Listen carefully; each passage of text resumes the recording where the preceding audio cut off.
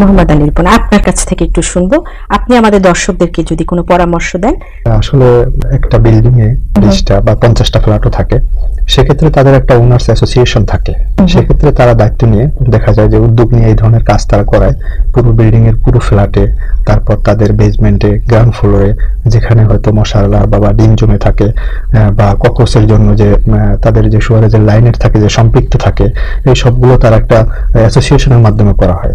Individually আলাদা আলাদা একটা বাসায় করালে এর আউটপুটটা তেমন একটা বেশি আসে দেখা যায় আমরা এটা করে থাকি গ্যারান্টি সহকারে। একটা বাসার জন্য কেমিক্যাল এটা ট্রিটমেন্ট করলে দেখা যায় তিন মাস বা চার মাস ছ মাস এরকম হয়ে থাকে ভালো থাকে। কিন্তু টোটাল বিল্ডিং যদি কমপ্লিট করা হয় এই পেস্ট কন্ট্রোল করা হয় তাহলে সেখানে মিনিমাম ওয়ান ইয়ার্স এর মতো তারা সেফ থাকতে পারে আর আচ্ছা অনেক ধন্যবাদ আমাদের সাথে থাকার জন্য। On Bengal pest control service আপনার পাশে আছে সব সময়।